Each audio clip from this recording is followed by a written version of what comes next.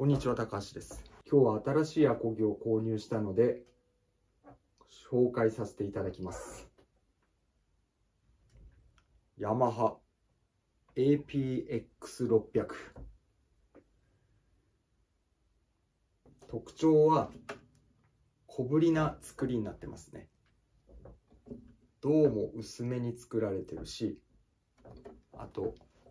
ネックも細め全長もやや短めに作られてます。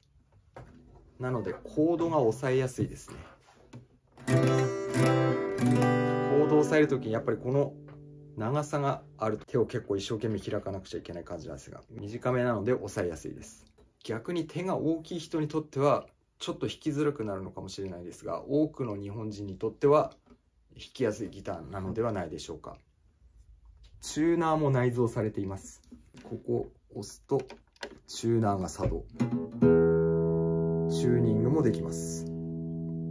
サウンドに関してはやや控えめなサウンドだと思いますね。音は非常に綺麗なんですが。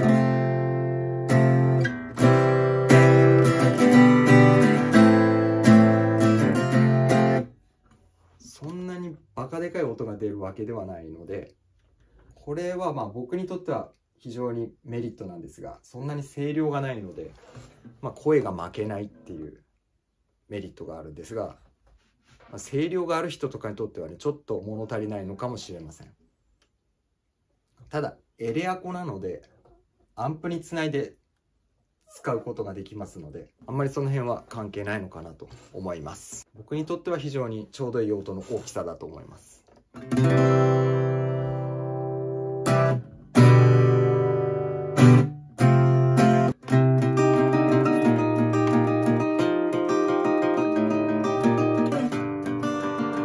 た目は本当にオーソドックスな感じですよねまあ、ここのな、なんだろう、エンブレムみたいなのもなかなかいい感じだと思いますし。僕が今まで使ってたギターがヤマハ APX500 っていうギターなんですが、APX600。後継モデルですね。APX500。APX600。こっちはもう売ってないんですけど今はこっちになるんですけどだからあんまりまあ変わらないっちゃ変わらないんですけど。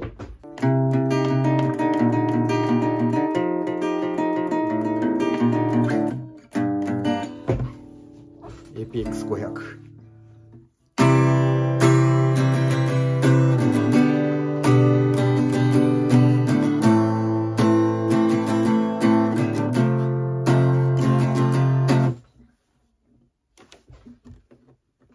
はもう10年以上使ってるギターになるんですが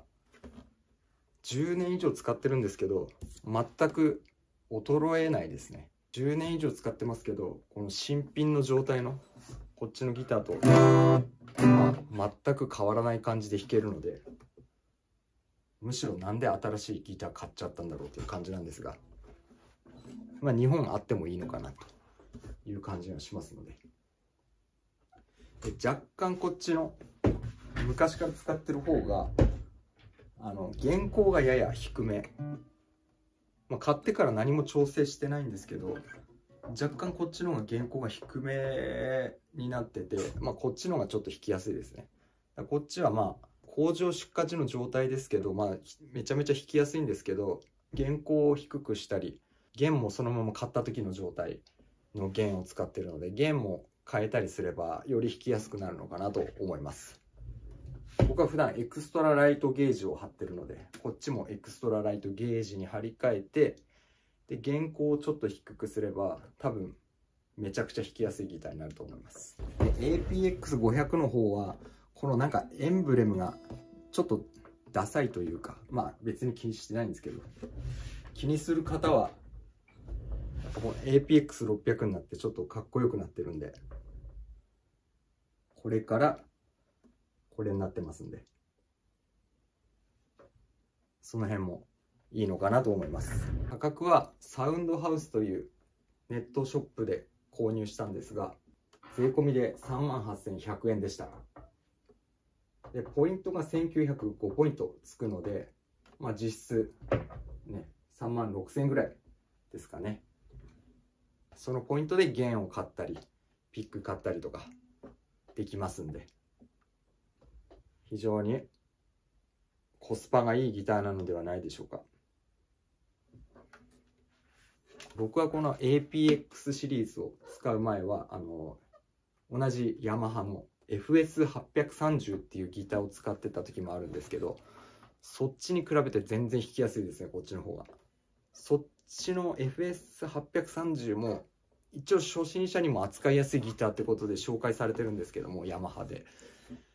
なんか弾きづらかったですね。原稿、まあ原稿も高い。まあそれは調整すればまあ低くなるんですけど、原稿高かったし、あとなんか握った時のこのテンション感。弦が結構硬く感じるというかテンションが高かったんですよねこっちは長さが全長が短いっていうのもあるんでその分ちょっと弦もちょっと緩めになってるからより抑えやすくなってるのかななんて思ったりするんですけどとにかくおすすめのギターとなっております僕はもうアコギはずっとこれでいいかなと思ってるぐらいなんで。高いギターっていうのを使ったことないんでちょっとよくわからないんですけどね。エレキに関しては結構高いギター使ってるんですけどこれとか。15万ぐらいしたし。はいというわけで紹介させていただきました。ヤマハの APX600 これからアコギを買おうと思ってる人や今アコギを使ってるけどめちゃめちゃ弾きづらいと思ってる人なんかの参考になっていただけたら嬉しいです。ありがとうございました。高橋でした。また次の動画でお会いしましょう。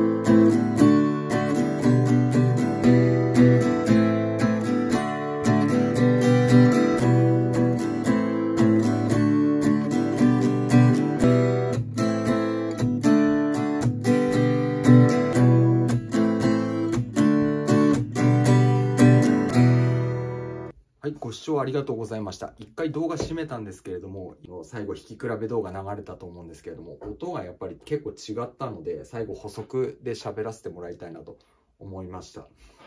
こっちの600の方が、高音から低音まで幅広く音が出てるなっていう印象がありました。APX500 の方はもっとギュッと、音がギュッとしてるというか、まとまってるという感じで、それはそれで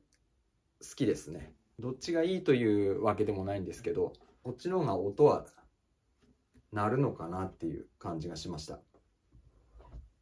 APX600。おすすめ度がより増しました。ということで、本当に終わりたいと思います。ありがとうございました。高橋でした。また次の動画でお会いしましょう。